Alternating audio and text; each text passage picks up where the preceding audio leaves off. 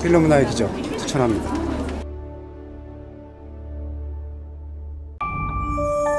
필로미나의 기적을 믿으세요?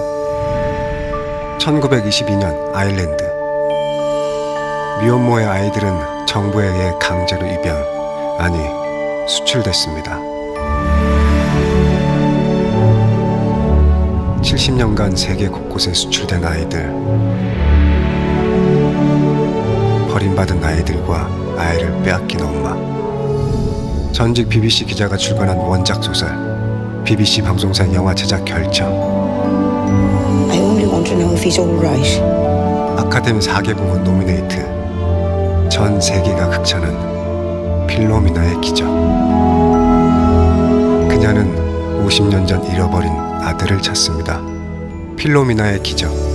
4월 대한민국이 웃고 울 차례입니다 아카데미 수상 주디 덴치 영국 아카데미 각색상 스티브 쿠건 그들과 함께하는 웃음과 감동 여행이 펼쳐집니다? 빌리 엘리어트, 셜록 제작진의 유쾌한 감동 실화.